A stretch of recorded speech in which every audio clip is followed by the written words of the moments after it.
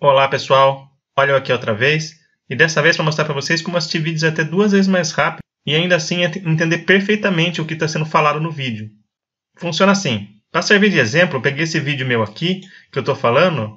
Uma vitória, 18 pontos, 0 vitórias. Olha o tom da minha voz. E ao clicar em classificar, ele ordena automaticamente a pontuação do Agora vamos colocar duas vezes mais rápido para você ver como que fica. Você vem aqui, clica nessa engrenagem aqui, clica em velocidade da reprodução e aqui ó, você pode aumentar 25% a velocidade, você pode 50%, 75%, já vamos pular para duas vezes mais rápido. E veja só que você vai entender perfeitamente mesmo colocando duas vezes mais rápido a reprodução do vídeo.